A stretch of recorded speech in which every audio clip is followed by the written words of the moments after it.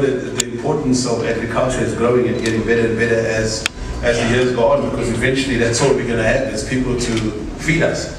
So uh, we are pressing hard to get agriculture back, but this event started as an agricultural platform in 1894. But it has evolved and it's become probably the biggest, the biggest marketing brand platform there is in South Africa and most likely in Africa.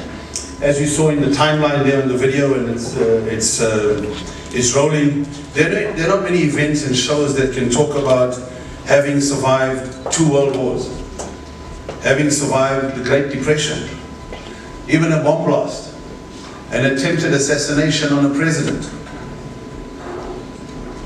Kings and queens have represented and opened the Rand Show in years gone by. There's not many events that have had that. And this used to be the biggest event in the South African calendar. At one stage, it even lasted for 27 days. And the whole country came to a standstill for the Rand Show. But what the Rand Show has always been about is creating great memories.